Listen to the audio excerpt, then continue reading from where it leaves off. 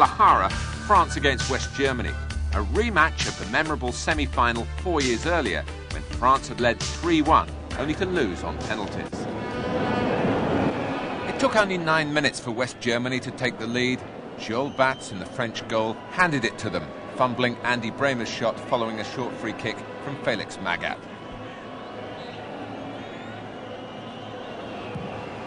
The ambition of France to avenge that semi-final in Seville four years earlier had been drastically threatened.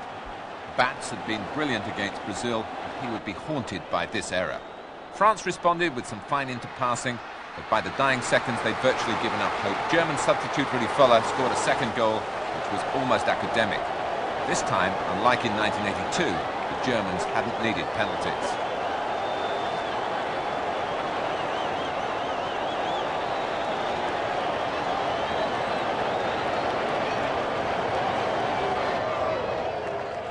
Diego Maradona personally earned the right to take all his glorious talents into a World Cup final. In 12 mesmeric minutes, he took Belgium's mass defence apart with all the grace of a ballet dancer and the ruthless efficiency of an executioner. It was not only two more marvellous individual goals, but his entire contribution to the game, which left Argentina looking a class superior to Belgium.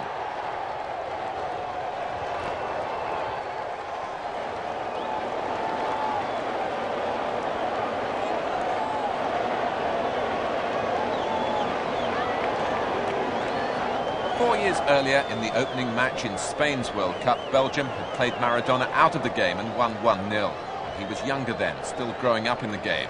Now he was captain of his country and a footballer of proven genius. Belgium didn't complain in defeat. Reaching the semi-final itself had been prize enough. They knew they'd been beaten by the greatest player on earth. Diego Maradona just missed out on Argentina's World Cup success of 1978 Already an international at 17, he was felt just too young to make the final selection of 22. Against Belgium, he made sure that he would play in the final of 1986. For France, it might have been different if goalkeeper Bats had kept out Andy Brehme's dipping shot. After that, the organisation of the Germans stifled the French flair. So for France, the only consolation, the match for third place against Belgium. Four years earlier, they'd been beaten by Poland at this stage. But now they put on a brilliant show in a magnificent game in Puebla, with both sides fully committed to attack.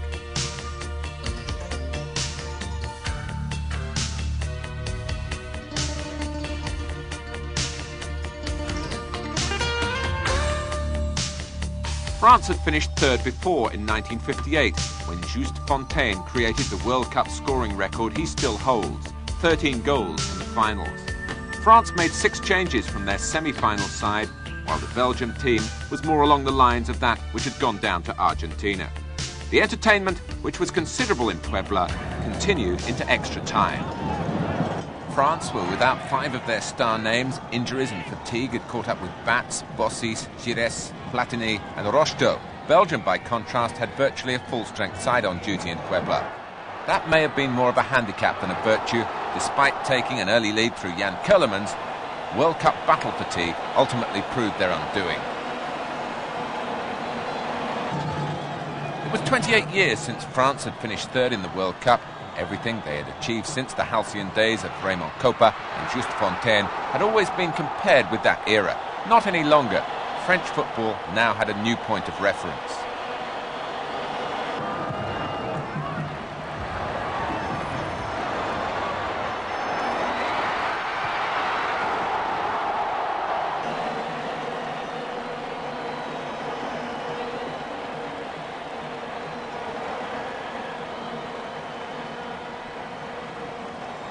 Jean-Marc Ferreri, once nicknamed the new Platini, equalised for France. Jean-Pierre Papin had put them into the lead before half-time. Nico Claesen's equaliser for Belgium after 72 minutes sent his teammates into extra time for the third time in four games. The challenge was to prove too much. France pulled away again.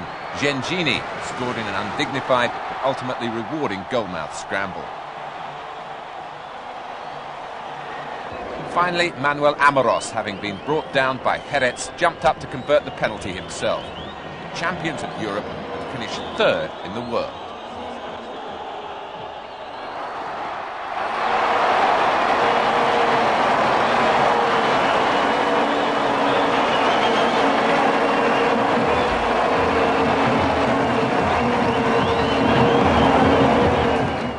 Time was too much for Belgium. The third time for them in four matches in 13 days, they'd had to play the extra half an hour. So third place for France, fourth for Belgium. Now the climax of a tournament that had always been absorbing and sometimes really touched the heights. Argentina, champions in 1978, against West Germany, winners in 1954 and 1974. The skill of Maradona against the strategy of Franz Beckenbauer.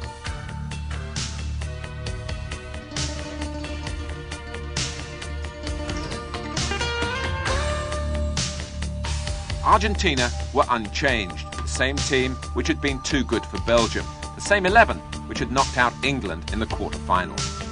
Beckenbauer brought back Thomas Berthold after suspension. He'd been sent off against Mexico and gave Lothar the task of dogging Maradona's footsteps. Argentina have been over the years one of the great football exporters. Thousands of players have preached their gospel of technical arrogance around the world since the big Italian clubs first swooped for them in the wake of the 1930 World Cup when Argentina were runners-up. Four members of Argentina's lineup in the Estadio Azteca were with foreign clubs. Four more signed contracts soon after the final whistle. Conveyor belt, it seems, will never stop. Beckenbauer set Matthäus to follow Maradona everywhere, on the surface, he seemed to have had his poorest game of the finals. In fact, he was fouled for the free kick which produced Argentina's first goal. He was instrumental in the move which created their second, and he provided the through pass from which Burruchaga would score the winner. Beckenbauer had never made any secret of his belief that his team weren't yet good enough to win the World Cup. Wait for us in four years' time, he had promised. Germany had reached the final thanks to traditional virtues, such as effort, commitment, and a solid defence. In a competition of erratic standards, their consistency had proved a winning factor. Until that is, they met the one outstanding class team.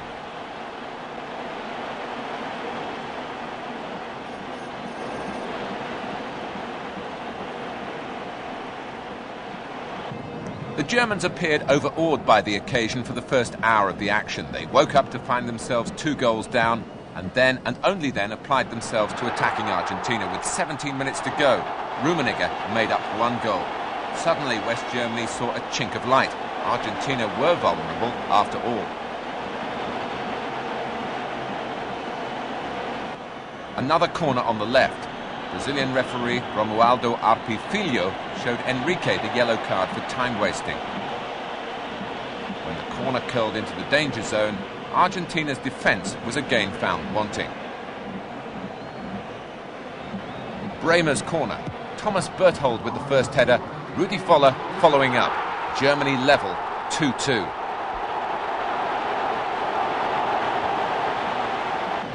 Six minutes remained to the drama. Argentina had to start all over again. Maradona, who else, slid a deadly pass forward in the move which confirmed Argentina's mastery in the tournament.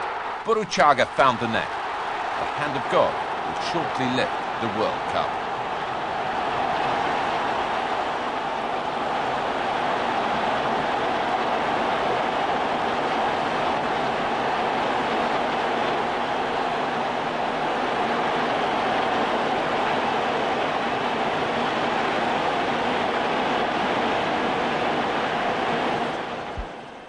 No goals for Maradona this time, leaving Gary Lineker as the top scorer in the finals with six.